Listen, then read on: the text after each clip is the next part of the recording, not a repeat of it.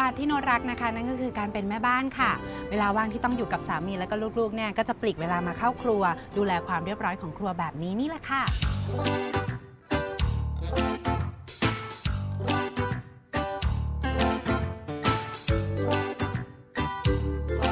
ปัจจุบันปริมาณขยะของกรุงเทพมหานครราว 60%เป็นขยะอินทรีย์ค่ะ นั่นก็แสดงว่ากรุงเทพของเราเนี่ยมีอาหารเหลือทิ้งเยอะแยะมากมายเลยนะคะ ในบ้านของนตเองเศษอาหารที่เหลือนั้นนตจะแยกทิ้งแบบนี้ละค่ะ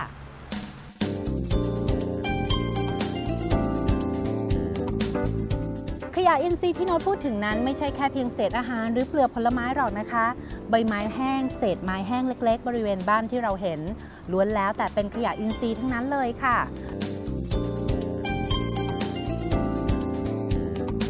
ไม่ควรทิ้งขยะ เศษอาหาร ใบไม้รวมกับขยะชนิดอื่น ๆ หากรอเวลาจัดเก็บของกรุงเทพมหานครแล้วแล้วก็อาจจะส่งกลิ่นเหม็นทำให้บรรยากาศในบ้านไม่ดีอีกด้วยนะคะ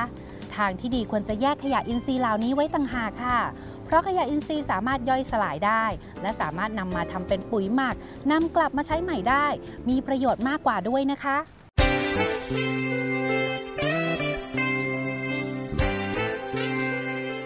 ชมลองคิดดูนะคะว่าถ้าหากพวกเราทุกคนเนี่ยปรับเปลี่ยนวิธีการในการจัดการกับขยะอินทรีย์ ซึ่งมีสัดส่วนมากกว่าครึ่งหนึ่งของขยะที่จัดเก็บในกรุงเทพมหานครแล้วแล้วก็จะสามารถประหยัดงบประมาณในการจัดการขยะได้มากสักแค่ไหน